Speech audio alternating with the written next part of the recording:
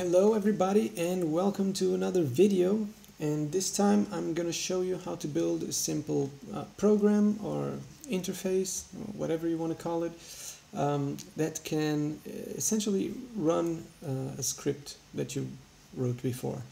Um, so I've been writing some articles on Medium, that's probably why you're here, uh, and I've, I've been writing some articles like web scraping stuff and I decided I wanted to uh, use uh, this one, the, the, the, flight scraper that can um, get you prices from kayak.com and so instead of running Jupyter notebooks every time I wanted to to to do a, scraping or, or a search uh, I thought it would be nicer to just build some kind of uh, program that would do it. Um, better than me trying to explain let me just uh, show you what I mean. This is the final result of what we're going to have and uh, if I run it this is uh, the final the final product over here. So we're going to build something uh, like this exactly like this and uh, from here if you recognize uh, if you read the other article you know that this is for the user to input the cities that they want to search the flight uh, and the date and when you press start over here it essentially runs the, the bot that I wrote in the other article okay? So I'm gonna show you step by step how to um, start using tkinter that's what we're going to use uh, to build the app. And um, that's it. Uh, you just need a couple of files and I'll tell you which in a moment so we can delete this. Me just mute. So we just deleted that file. We're going to build another one just like that. And um, you just need a folder with these files. So I have a folder. It's this one. And over here I'll show you this file.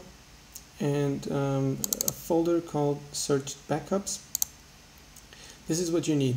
Just create a simple folder, folder with um, another folder inside called search backups and then this file is the one that I provide in the article, in the end of the article with uh, the whole code which is here.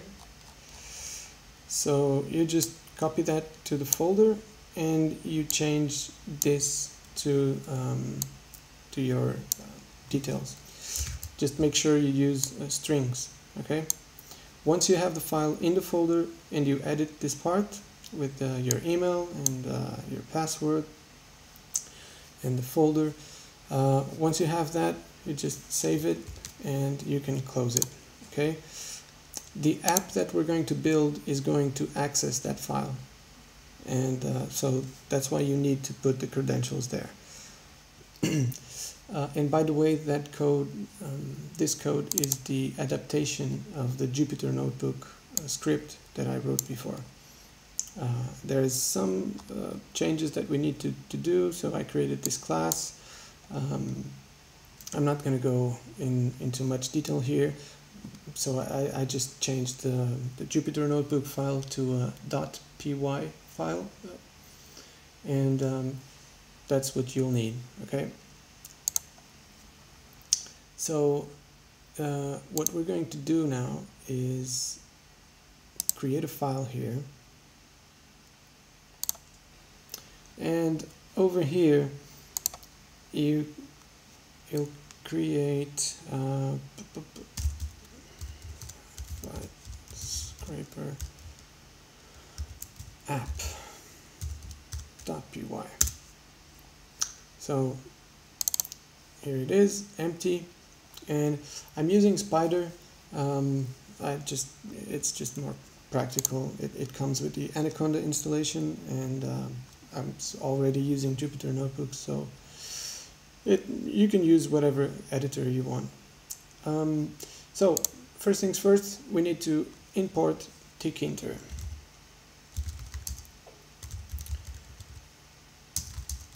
we're going to import it as tk um,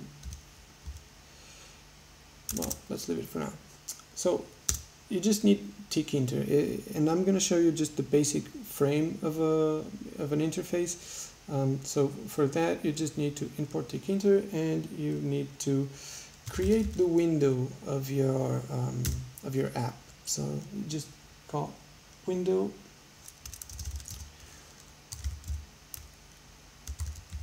tk.tk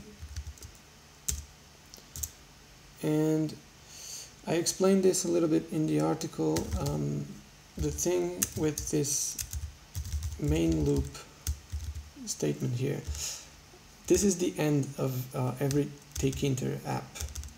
Uh, you have to place everything in between the import statement and um, I mean the window statement and the main loop.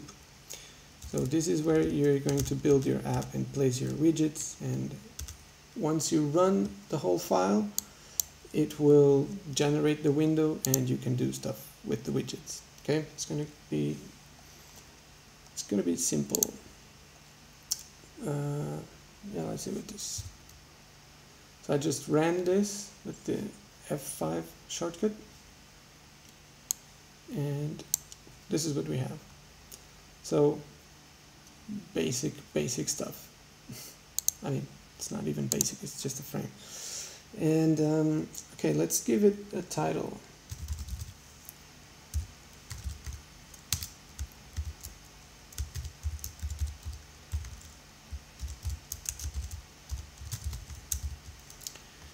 And let's run it again.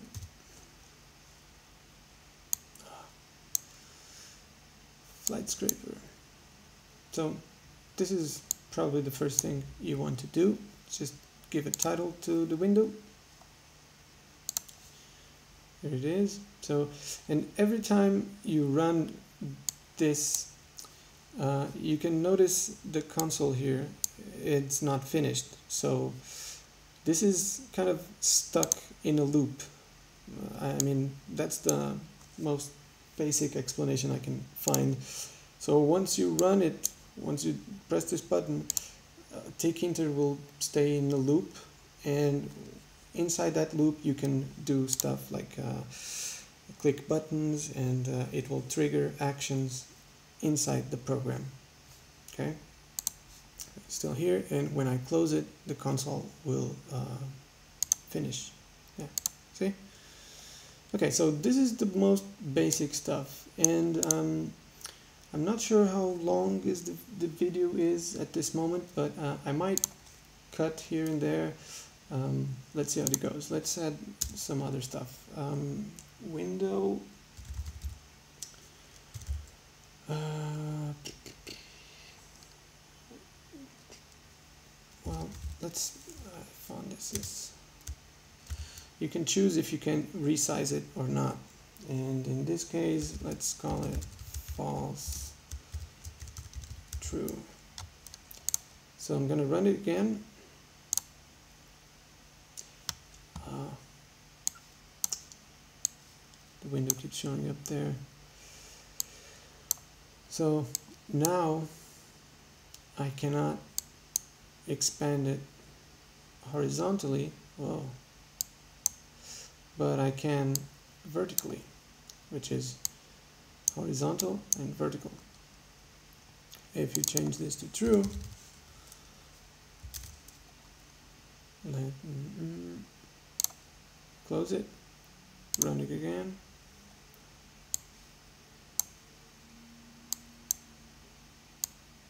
Okay, so this is a nice command if you want to um,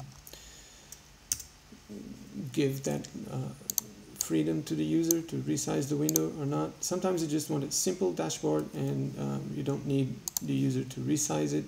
Uh, yeah, just mess around with it and, and do some testing. Um, there's others about this, maybe the size of the window. Window size, um, 600. Uh, what was it? 600 600